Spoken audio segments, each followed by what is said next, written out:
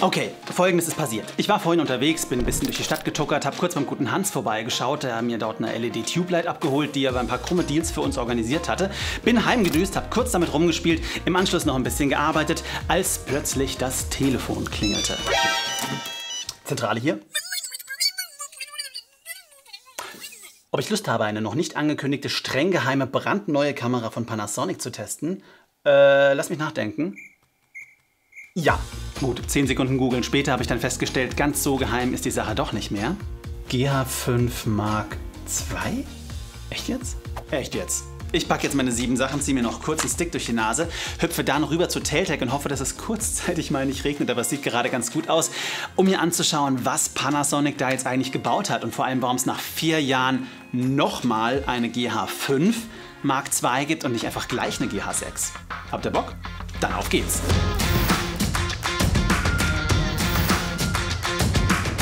Gerade eben ging die Welt noch unter und jetzt ist plötzlich schönster Sonnenschein. Aber etwas windig und Flugzeuge, entschuldigt bitte. Ich bin gerade auf dem Weg zu Teltec, die sitzen praktischerweise in derselben Straße.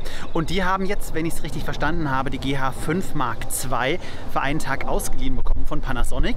Und ähm, ja, Jessie hat mich angerufen, ich darf mal vorbeikommen, darf sie mir auch mal anschauen und vor allem hoffentlich gucken, für wen diese Kamera ist und warum. Weil so viel kann ich verraten, eine GH6 wird es auch geben, die ist auch in diesem Zuge angekündigt worden, kommt aber erst im Laufe ich glaube, dieses Jahres raus.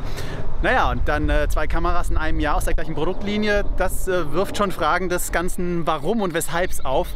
Ich werde der Sache mal nachgehen.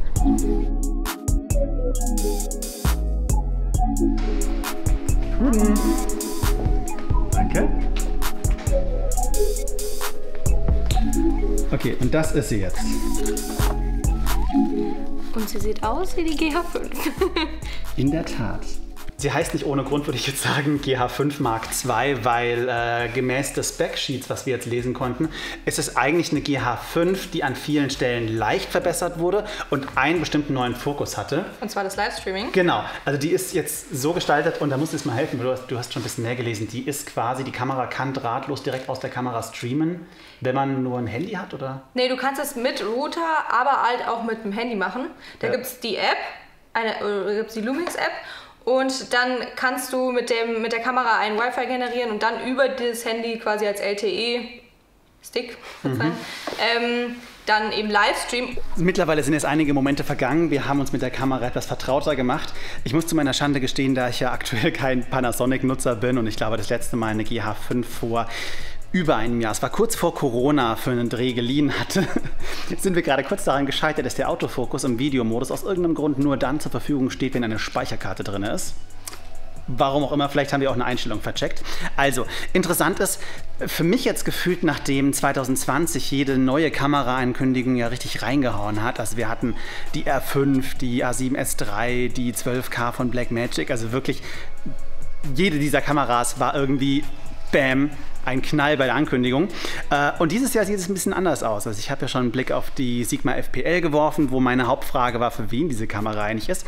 Und ich glaube, ein Stück weit kann man das bei der GH5 II auch fragen. Und ich denke allerdings, dass die Sache hier ein bisschen eindeutiger ist. Meine persönliche Meinung ist, ich glaube nicht, dass Panasonic diese Kamera von langer Hand geplant hatte. Ich glaube, sie haben ein bisschen auf den Zeitgeist reagiert, weil Streaming insbesondere seit Corona natürlich ein riesiges Thema ist, weil es bei Firmen zunehmend ein Thema wird. Und deswegen würde ich schätzen, dass sie bei sich im Portfolio geschaut haben, was sie halt quasi haben, auf die GH5 gestoßen sind, weil die in puncto Hitzemanagement und so weiter und von den technischen Daten halt vor vier Jahren schon super war und ähm, sozusagen diese gepimpte Variante rausgebracht haben. Verbessert, äh, das hatte ich ja schon gesagt, ist der Autofokus, der Bildstabilisator, Details am Sensor, das konnten wir jetzt im Hands-on bisher noch nicht so wirklich testen. Ähm, ich würde sagen, wir gehen jetzt mal raus, gucken mal gerade in Bezug auf diese zwei Sachen, was sich da getan hat. Insbesondere, weil beim Autofokus Panasonic halt bisher nicht so der King war. Und ähm, ja, stellen das mal auf die Probe. Krass, so viele Kisten. Da fällt es doch bestimmt nicht auf, wenn meine fehlt, oder? Oder sind die abgezählt? Ah, schade. Jetzt wird es hochwissenschaftlich. Wir haben jetzt mal die GA5 II und eine A7S3 beide auf Stative gepackt, machen einen Autofokustest. Ähm, völlig unterschiedliche Preisklasse, anderer Sensor. Also völlig unsachlicher Vergleich, genauso wie ich es mag. Aber die A7S3 ist halt eine gute Referenz für den Fokus und äh, mal schauen, wie die GH5 II da jetzt mithält.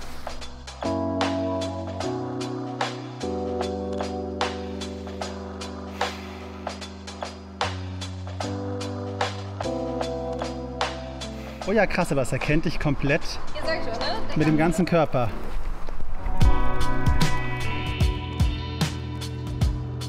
Natürlich bei dem Sonnenlicht schwer zu beurteilen, aber zumindest so von, dem, von den Linien und Gesicht und Körper hat die Kamera das eigentlich nie verloren. Das scheint mir jetzt als jemand, der nicht so super erfahren ist mit Panasonic-Kameras, ein Riesen-Upgrade gegenüber früher zu sein. Zumindest äh, gegenüber den GH5, mit denen ich gedreht habe.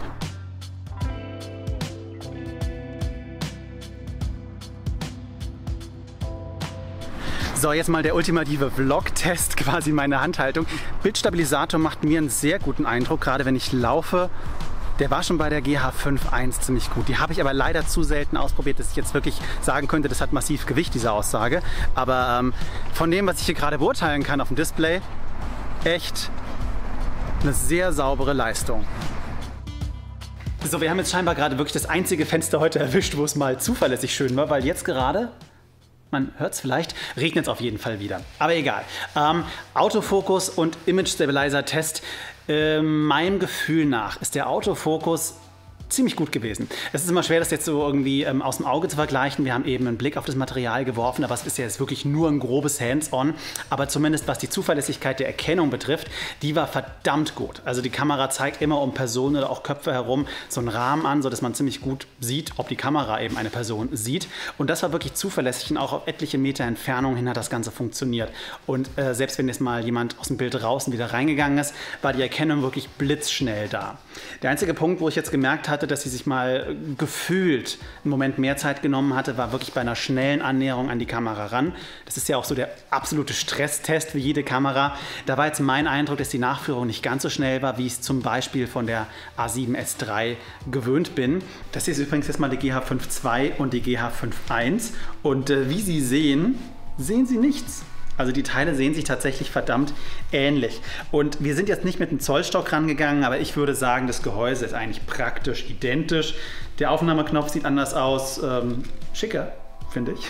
Ansonsten glänzt er vielleicht auch einfach nur ein bisschen mehr, weil sie neuer ist. Nee, aber im Grunde genommen, die, die Benutzerbedienung ist absolut gleich. Das Menü ist minimal anders, aber immer noch sehr typisch Panasonic. Ein paar Punkte sind hinzugekommen und ansonsten Dinge wie beispielsweise das äh, Vlog-Update, was bei der ersten äh, GH5 noch kostenpflichtig war, ist hier halt drin. Äh, 10-Bit bei 4K 60, was bei der ersten nur in 8-Bit ging. Aber ihr merkt schon, das sind so ein bisschen marginale Verbesserungen. Also ähm, an allen Ecken und Enden ein bisschen Politur betrieben, aber die wesentliche Neuerung ist halt ähm, das Streaming.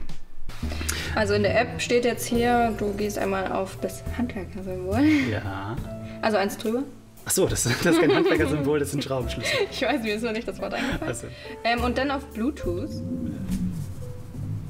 Pairing? Äh, Ja. Ja, jetzt sollen wir es registrieren.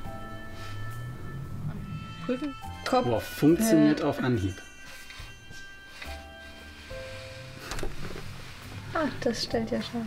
Nee, tut's nicht, stellt nur auf dein Gesicht scharf. Haha, scheiß Gesichtserkennung. Ähm, das Füllt sich dauert, der Balken auch? dauert noch kurz. Scheinbar. Scheinbar dauert das noch. Ähm, du, Das dauert ganz schön lang, ne? Weiter äh, Gesichter verdecken.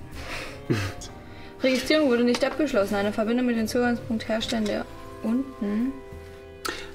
Also immerhin kann ich sagen, dass die Kamera äh, komplett dauerhaft unendlich lange über Strom betrieben werden kann. Genau. Ja, das ist tatsächlich, das kriegen selbst die neuesten Sonys nicht hin. Die Aber leider- entladen sich zwar sehr, sehr langsam, aber sie entladen sich. Und die hier tut es tatsächlich überhaupt gar nicht. Man äh, könnte zwar unendlich lange streamen, wenn die Verbindung funktionieren würde, aber das tut sie nicht. Wir warten mal schön. Und Verbindung hat finally geklappt. Ja, endlich. Das heißt, jetzt können wir streamen, nur mit Handy. Und zwar, also ist noch nicht verbunden, ne? Die sind komplett, oh mein Gott. Die Kameras sind 2021 und komplett drahtloses Stream. Okay, Jetzt müssen wir äh, es nur noch prob äh, wirklich probieren, auch äh, zu streamen. Weil das ist jetzt einfach nur die App, die kennt man ja schon, also ich nicht. Aber man kennt sie. scheinbar. Und ähm, da kannst du auch äh, andere Dinge machen, wie ähm, Fernaufnahmen. Tja, mit dem Streaming-Test könnte es schwierig werden. Wir versuchen jetzt schon seit einer Weile, das Ganze hier hinzubekommen. Ähm, naja, die Kamera ist eine Vorabversion, also es läuft nicht. Nee, kann, ich glaube, man sieht mich nicht. So jetzt. Oh. Also, ähm, es, es, es perrt einfach nicht. Wir wissen nicht, wo genau das Problem liegt, aber ähm, laut Panasonic ist es auch so, dass ähm, das vielleicht auch auf der App noch gar nicht funktioniert. Also dass es erst jetzt im Laufe der nächsten Wochen kommt oder dann mit dem Release. Und ich glaube, in dem einen Blatt stand auch drin, dass es nicht mit Android-Handys momentan geht und nur mit iOS-Handys, aber nur mit iOS-Handys bestimmter Version. Also es ist noch ein bisschen anspruchsvoll, wie gesagt, Vorabversion. Ähm, bisschen schade, weil eine als Streaming-Kamera angekündigte Streaming-Kamera, deren Streaming-Funktionen wir jetzt nicht testen können, äh, dann muss ich es in dem Moment wohl dabei belassen zu sagen, dass es gehen soll. Und die Ankündigung, dass man natürlich nichts außer der Kamera und sein eigenes Handy braucht, um drahtlos von überall streamen zu können, ist ich hatte es gesagt, glaube ich, für viele interessant. Glaube ich, für alle Leute, die eben ähm, diese schnelle Mobilität haben wollen, aber gleichzeitig eben kein Setup aufbauen. Also ich denke schon, dass es dafür einen Markt gibt und ich glaube, wie gesagt, ist das die, wenn dann die Hauptkäuferschicht für diese Kamera sein kann. Ich glaube, wir tüfteln jetzt noch ein paar Minuten rum, vielleicht kriegen wir es ja noch an den Start, aber äh, Stand jetzt belasse ich es erstmal bei dieser Information. Tja, also, wir haben es nicht geschafft. Das Stream hat nicht funktioniert. Ich schiebe es mal wirklich darauf, dass das jetzt eine äh, Vorabversion der Kamera ist. Vielleicht ganz kurz an der Stelle. Also, anhand des Datenblatts, was wir gelesen haben, es gibt zwei Möglichkeiten zu streamen. Entweder über diese Lumix-App, das heißt dann wirklich Kamera drahtlos ans Handy dran und raus. Oder man kann wirklich eine Konfiguration, eine Streaming-Konfiguration mit Schlüssel und so weiter auf die SD-Karte packen, in die Kamera rein und dann kann die praktisch direkt wirklich über einen Router einfach streamen.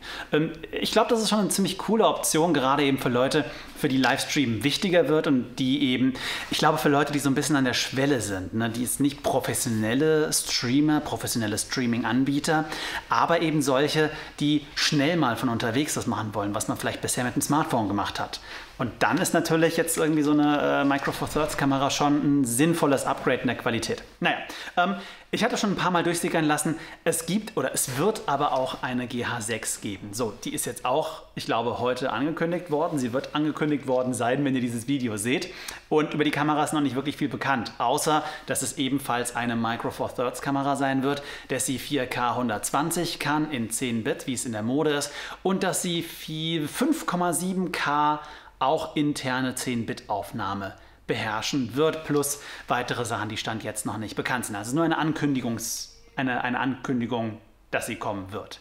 Genau dieser Punkt, finde ich, gibt dem Ganzen aber so ein bisschen ein Geschmäckle. Denn ehrlich gesagt, die Kamera ist total gut.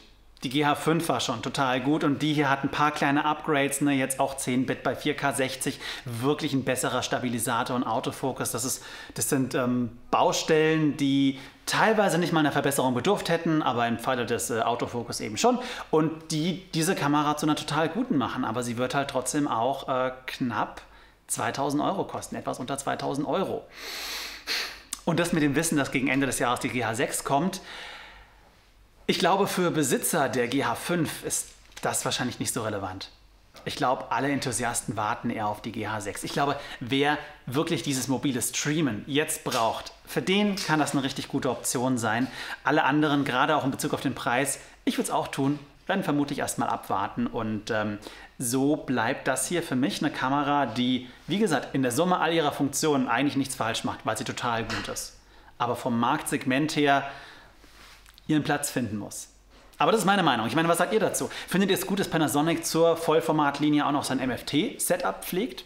Ich persönlich ja schon, aber ich brauche mir keinen eigenen Kommentar hinterlassen. Von daher schreibt ihr es gerne mal in die Kommentare. Und der schönste Kommentar, der gewinnt diese Kamera hier. Was? Nee. nee ach, oh, achso, keine Verlosung? Nein. Okay, also der schönste Kommentar kriegt maximal ein Herzchen. Ähm, ansonsten ähm, danke ich trotzdem fürs Zuschauen. Ich hoffe, ich konnte euch einen guten ersten Eindruck geben über die Kamera. Mehr war es noch nicht. Wir sehen uns auf jeden Fall im nächsten Video dann wieder. Bis dahin macht's gut und ciao.